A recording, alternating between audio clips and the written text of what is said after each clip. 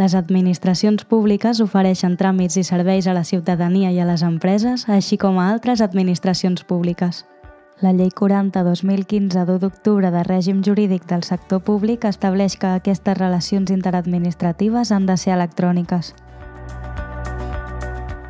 En concret, les administracions públiques catalanes es relacionen a través de l'extranet EACAT, on accedeixen tant els departaments de la Generalitat com els seus ens i organismes autònoms, també altres ens públics com els de l'àmbit local, ajuntaments o diputacions i ens institucionals com les universitats públiques. L'EACAT ofereix el catàleg de tràmits, és a dir, la relació de tots els tràmits que aquestes administracions ofereixen amb la informació sobre terminis, documentació i altres característiques que cal tenir en compte. Aquestes trameses de documents i d'informació són signades amb certificat digital i tenen assentament del registre electrònic de sortida i d'entrada de l'ens d'origen i l'ens de destí. Per tant, la plataforma EACAT garanteix la seguretat jurídica i legal de l'intercanvi d'informació entre administracions públiques. L'EACAT és el punt de trobada i d'intercomunicació entre les administracions que, al seu torn, en gestionar tot l'expedient administratiu electrònic poden tenir documents i comunicacions amb altres persones interessades.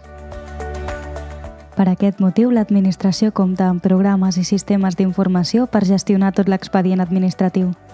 Un d'aquests és el tramitador genèric, un sistema d'informació de la Generalitat de Catalunya integrat amb diverses eines que permeten que l'administració es relacioni digitalment amb l'EACAT i les persones interessades. D'aquesta manera, tots els actes i les comunicacions que la Generalitat efectua cap a les administracions queden enregistrades a l'expedient corresponent dins del tramitador genèric i alhora a l'EACAT. Un expedient es pot iniciar per part de l'interessat o d'ofici. Si s'inicia a partir de l'interessat, per exemple un ajuntament, aquest ha de cercar el catàleg de tràmits d'EACAT els tràmits que necessiti d'un servei.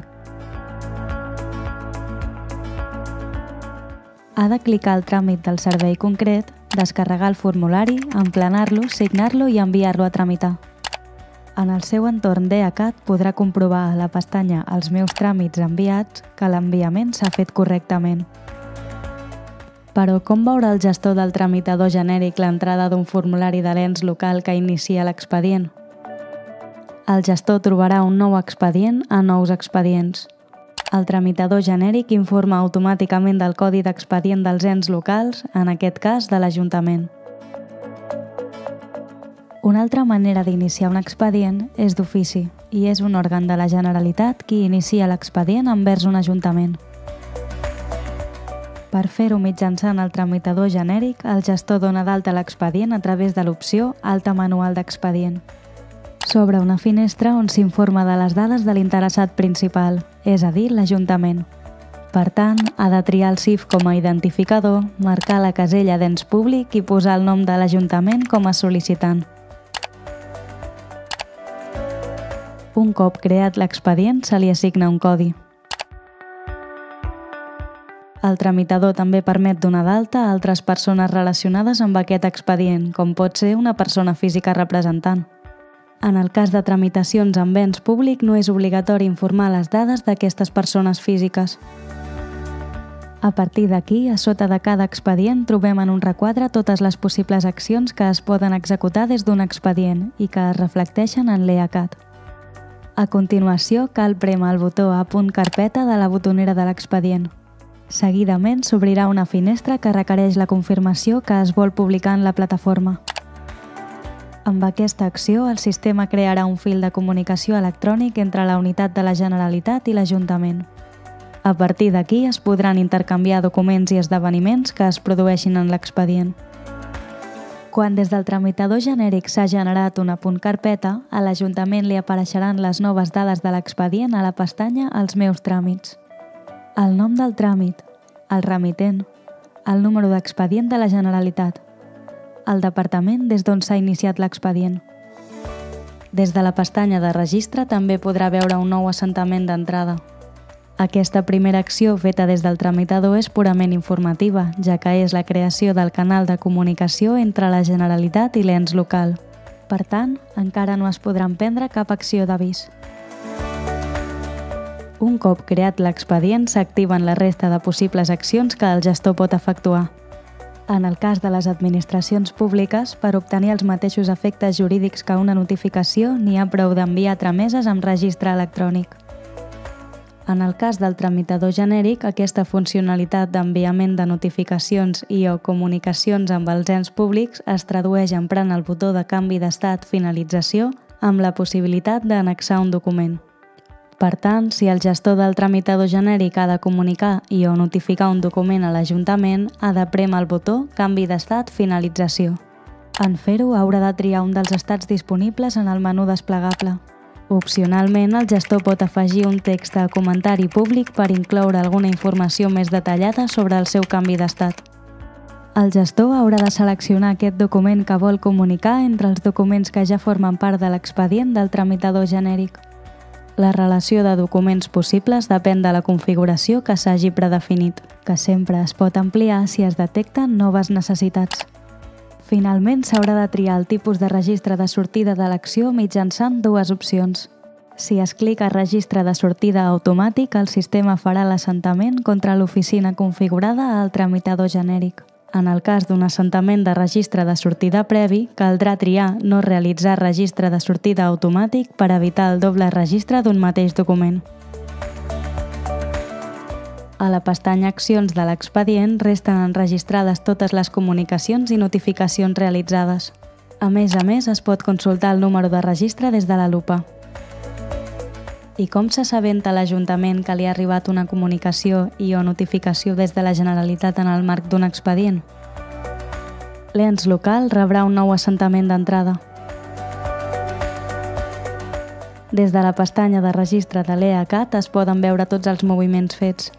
Això és el que garanteix que la comunicació ha arribat a l'altra administració i equival a la constància fefaent de la notificació en el cas que el destinatari sigui una persona física. A més, cada persona usuària de l'Ajuntament que té permisos sobre aquell tràmit concret pot veure els canvis que es van produint a través de la pestanya Els meus tràmits. Si només s'han fet canvis d'estat però sense incorporar-hi cap document, l'Ajuntament ho veurà a l'espai Més informació. Si per contra la comunicació i o notificació té annexada documentació, ho podrà veure en l'historial de l'expedient en forma d'arbre amb el títol de comunicació o notificació. Tornem a la tramitació de l'expedient. Sovint, el gestor detecta que algun document és incorrecte o bé que en falta algun altre. Per tant, cal requerir-lo a l'altra administració perquè l'aporti posteriorment. Per fer-ho, cal anar a la botonera d'accions de sota de l'expedient i clicar Requeriment de documentació. En la finestra emergent cal indicar els documents necessaris per requerir. Al camp Comentari públic es pot incloure un petit text informatiu sobre el document que s'està requerint. És molt important saber que en el cas d'EACAT el camp data no té efecte. Què vol dir? Que no hi ha data límit per aportar els documents i sempre estarà disponible per a l'Ajuntament la possibilitat d'enviar el document requerit. Després d'informar d'aquestes dades, cal clicar Afegir requeriment. El sistema permet acumular fins a 5 documents requerits en una única petició. El requeriment queda enregistrat en estat pendent a la pestanya Accions. Des del punt de vista de l'EACAT, l'Ajuntament en el mateix expedient veurà tantes entrades de requeriments com s'hagin generat des del tramitador genèric, amb diferents entrades a l'arbre de l'historial. L'Ajuntament, dins del PDF, veurà. L'assumpte, document requerit, la data de validesa, data límit, el detall, comentari del requeriment, Dins de la punt notificació de l'historial, clicant a Respon al tràmit, s'obre a sota la finestra Resposta al requeriment de documentació, que s'haurà de descarregar i omplir. Dins del formulari PDF cal annexar el document requerit, signar-lo i enviar-lo. Tornant a les possibilitats del tramitador genèric, una altra acció és enviar la resolució per notificar els actes resolutoris. Quan el gestor clica aquesta acció, s'obre una finestra on l'estat de la notificació és resolta. S'hi pot escriure un comentari i annexar un document dels que ja formen part de l'expedient del tramitador. Un cop enviat, queda enregistrat com un canvi d'estat en la pestanya Accions. A tot això, com ho veu l'Ajuntament? Ho veu a la capçalera del tràmit com a darrer tràmit dins d'historial de tramitació. I dins d'arbre de tramitació podrà trobar tota la informació relativa a aquesta resolució final, registre d'entrada i annexos. Finalment, l'EACAT no té la possibilitat de rebre requeriments de pagament. Per tant, el botó Requeriments de pagament està inhabilitat quan una taxa va adreçada a una administració. Si ens trobem amb el cas d'un tràmit en què hem d'aplicar una taxa a un ens local, ho haurem de fer notificant-ho, a través del canvi d'estat, i annexant una carta de pagament que haurem de generar prèviament fora del tramitador genèric. Per tenir més informació pots adreçar-te a aquest enllaç.